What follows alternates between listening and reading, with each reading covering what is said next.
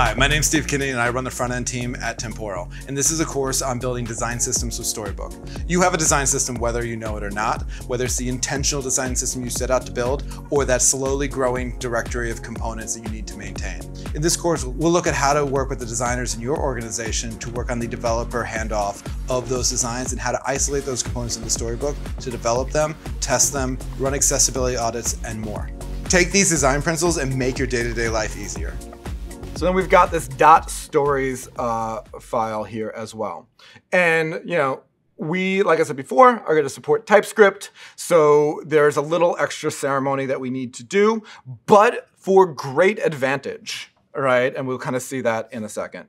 Um, and so we will import some types as one of the first things that we do. So we'll put import type, and we're going to import uh, two of them, meta and the story obj. These are types that are kind of unique to just getting us effectively IntelliSense. We're doing the TypeScript in this case because IntelliSense is great, and it will let us know if we pass the wrong argument in one of these stories, so on and so forth. Uh, and that is in Storybook React. Uh, if you are using a different framework, obviously it's going to be a little bit different. Um, but then what we can do next is there is the individual stories, and then for the collection of stories, uh, the kind of meta right? These are, you know, what is the name of this story? What component are we using? So on and so forth. And those are shared across all the stories. You can override them at any given point. So we'll also import our very cool button component, which is totally useful at this point uh, from dot slash button. Cool. And so we've got that in place. So now we have this um, idea of the meta that we want to have. So we have this const meta, and that's going to then take a title, which we're going to start out as button. Um, one of the things that I will talk about later is there are ways you can name the titles of your stories that influence kind of the organization hierarchy of your storybook, right? And so much like um, you know something like Figma, uh, do, using a slash or something along those lines will also kind of create a hierarchy um, as we go along. But we're going to start out real simple and not have too much of a hierarchy for starters. Um, and we'll say component is, in this case, the button, right? Um, this is kind of the bare minimum that you need. I'm going to say that it satisfies the type of meta to make sure that like I've actually hit all the things. And what this will do is um, as you like add stuff to the meta for this collection of stories, like it will make sure that like you're actually passing in the correct options, right? Especially this is helpful um, if either A, you've, you've, you're coming from a, mostly you're coming from a previous version of Storybook and you're like, it used to be like this, and you copy and paste old code, you're in the process of migration. Um, this will help you see like, oh, that's not actually valid anymore, and like tweak stuff along the way. But we don't, we're not gonna do any options just yet. Uh, the other thing we need to do is we export that meta as the default. All right, and if you're using just JavaScript, you could theoretically do export default in this object. The only thing we need uh, access to it for is to make one more type, which is the type story. Uh, and that's going to be uh, this story object and the type of um, button in this case. Cool. Um, and all right, so we've got all of this in place. And so now we've got our initial story.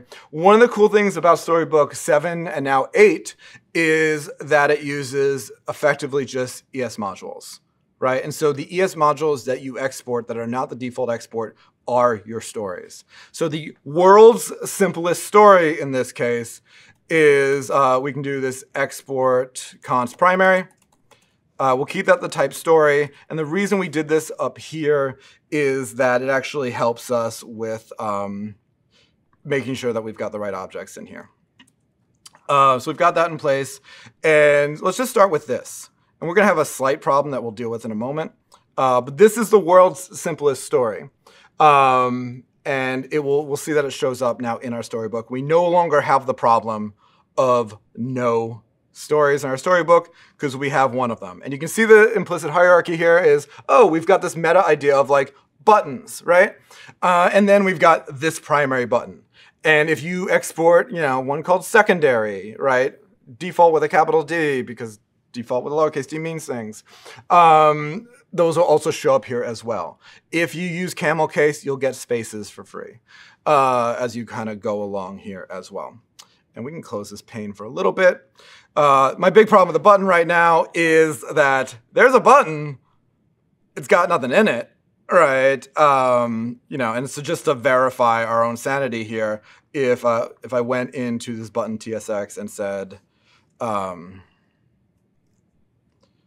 instead of has self self closing, we'll say slash button. Cool. And now you can see that it is a button, right? Uh, and that's all it takes to write a story. What becomes a lot more powerful is there are a lot of these components that uh, Storybook gives you for free. So let's pull in some of them. We're going to pull in import, and we're going to say this meta, which is just like, what is this? A um, we'll start with just that one. What is this? So Storybook. Uh, I think it's just blocks. Yeah.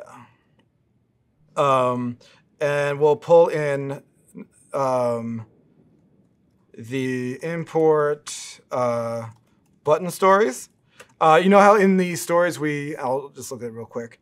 We exported as default the meta about this set of stories and everything you need to know, which is like the title of it, what the args are, what component we're describing, right? That is the default export from button.stories. Uh, so we'll pull that in from button.stories as well. And now what we'll watch is, I'll show you real quick, just for compare and contrast.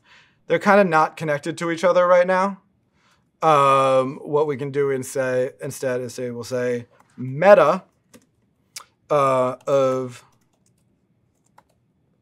button stories, which is just saying like this document is describing the button, uh, which didn't move it over here. And so now it is docs along with all of my button stories in this case right? And so this is where you might, again, nobody wants to watch me write a bunch of prose describing a button, but theoretically, uh, let's look at an example. This is kind of like it in practice from Twilio's, right? Here's the guidelines. Here's about the account switcher. Let's go look at their button just for context, right? You've, and we'll, we'll do some of this momentarily. Um, but it's the guidelines. When to use a button, a button versus an anchor link, so on and so forth. Um, so we've got that, and there's just some other little helpful ones in here as well. So we could do stuff like uh, title, where we'll say title is, most of that is just some helpful styling as well.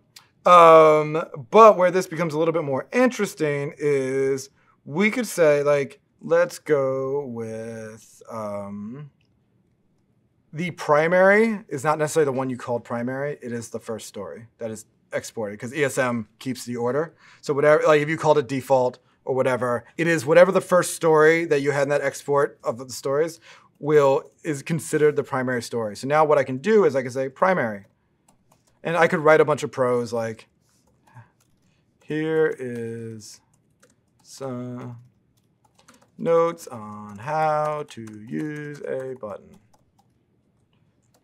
put in parentheses. Uh, cool. So we've got that here as well, and it's a JSX, so you got to have the closing tag.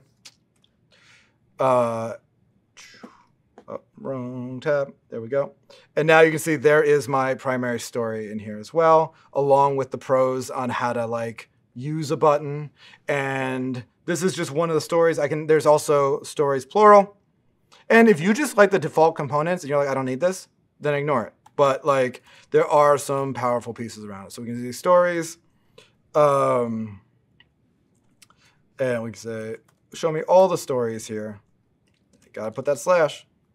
And that's like, oh, here's primary, here's secondary. So they're all in one page. So you can see all of the buttons in this case. And you can, you know, write your own code and all of those things as well. The other cool thing is on just a usage level and documentation, it shows you the syntax for this component. Like, oh, you want a button that looks like this? And these are simple, but you can see a world where on a more complicated case, right, we can see all the pieces in here.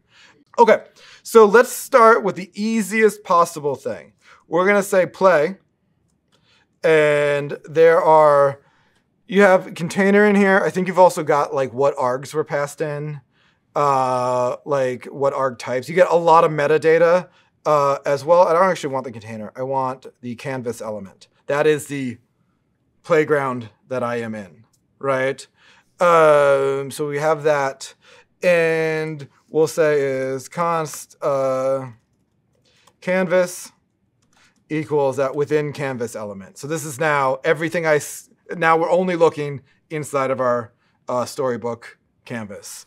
Uh, so what we'll do here is we'll say, um, don't ruin the surprise. Const text area equals canvas get by role text box text box have the aria or text areas have the aria role text box. If you want to ask me why it is in text area, I don't make the rules around here. I just tell you the answers. Um, and let's just start by doing something really easy. Uh, we'll go ahead just to demonstrate this. Sure, we'll do await user event dot type. And if you're not running a test and you're not waiting for it to be filled in, you can skip the await, but like it's not hurting anyone. Um, but if you do forget the await, ask me how I know this uh, your test will fail and you will lose at least 10 minutes of your life uh, before you remember why your test failed when it's clearly in the box because JavaScript is hard and asynchrony is weird. Um, if this was Ruby, we wouldn't have these problems, but we'd have a different set of problems. Cool, and you look back at our story, the cursor is still fl it's flashing in there, right? Because we went in there, we typed hello world. I'm gonna if you if you watch very carefully, you can see the uh, the letters go in there, right? And so it is simulating that user event. Um, and who thinks that passes an accessibility test? Um, and so we've got that in there as well. So we've got 13. That feels right. Do I really want to count the number of letters in Hello World? I do. I do. Um, so what we'll say is uh, const input value is hello world. I'll put that in there. I don't like magic numbers. And we'll say that we expect the, um, we need the count uh, div. And one thing that I know that you don't know that I know is that the actual count itself, I have this data dash test ID length. Uh, so this is not magic. I put a data attribute to select it easily uh, with my tests um, in here. And so what I'll say is const count equals canvas dot get by test ID length length. There we go. Uh, I am better at typing when I'm not standing at a podium, I promise you. Uh, cool. And then we want to say that we expect that count uh, div to have, uh, it's only that, to have text content that is equal to input value and because TypeScript is some, TypeScript has saved my butt so many times, but when it gets angry at me, it's like, um, you know, length could actually be undefined. Um, I'm like, shh, I know that it's not, it's a DOM node. Um, so we'll say toString to keep TypeScript happy with me. Um, and what should happen now is if we go in here and we look at interactions, first of all, like if it couldn't find the text area, the test would fail. Like everything that you do technically counts as an expectation. Um, so you can see that like it did successfully type in there, right? And so if it couldn't type in there for some reason, like your test would fail. Uh, but then two, it did go look in there and saw that the text count was in fact correct right? So now you can refactor away, and this is not even really just the design of this, this is the functionality, right? And this test will run every single time you change the code in your browser,